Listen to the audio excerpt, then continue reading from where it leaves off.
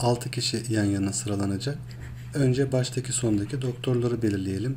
Bunların da sırası önemli olduğu için kombinasyon değil permütasyon kullanıyoruz. Önce 5 tane doktor içinden 2 tanesi seçilip buraya sıralanacak.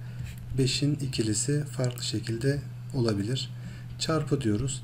E, toplam 6 tane yer olduğu için 6'nın ikisini seçtik. Geriye 4 kişi kaldı. Bu 4 kişinin ikisini doktor oldu.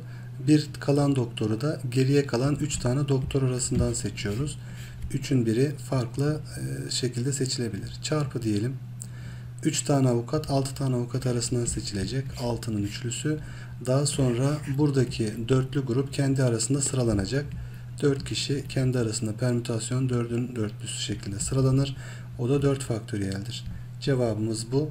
Bunu şimdi düzenleyelim.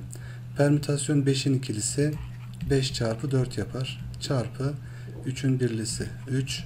6'nın üçlüsü de 6 çarpı 5 çarpı 4 bölü 3 faktöriyel. Bunlar sadeleşir. 4 faktöriyel de 24 yapar. Burada 4 kere 5 20. Burada da 20 var. Çarptığımız zaman 400 yapacaktır. 3 ile 24'ü çarptığımızda da 72 yapar. 4 kere 72 288 2 sıfırı da attığımızda 28800 çıkar. Buna göre doğru cevap A seçeneğidir.